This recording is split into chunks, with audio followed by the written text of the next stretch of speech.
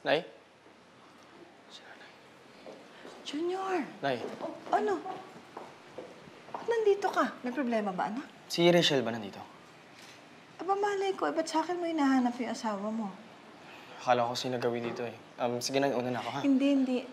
Dumito ka na muna. Mamaya na kami magsha-shopping ni Chick Chick. Nay, hindi na. Kasi baka si Rachel kasi nasa bahay na eh. Kailangan ko na umuwi. Hindi na. Dumito ka na muna. Mamaya ka na umalis, ha? Nagpahanda ako ng almusal. Kumain ka na muna. Yung paborito mo niluto. Tamang-tama. Ha? Dito, dito ka muna. Ano muna umalis? O, edi umamin ka rin.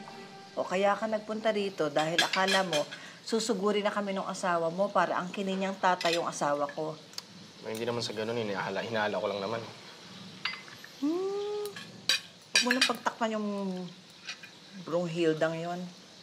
Siyempre, hindi nagwagi yung nanay niya. O, edi siyempre, ang susunod na gagamitin naman niya, yung anak niya. Nako, alam ko na yung mga ganyang susunod na mga bagay-bagay. Talagang, yung mag-inang yun eh, ayaw nilang maging masaya ako eh. Mga hayop na mga yun talagang, Napakasama. Ang sama talaga ni Ivy. Nay, kakausapin ko na lang si Rachel ha. Para di na siya magamit ng mami niya sa away niya. Pero yun ang nangyayari, anak eh. Ginagamit niya ang sarili niyang anak para sa sarili niyang kaligayahan. Nay, hindi ko hayaan mangyari.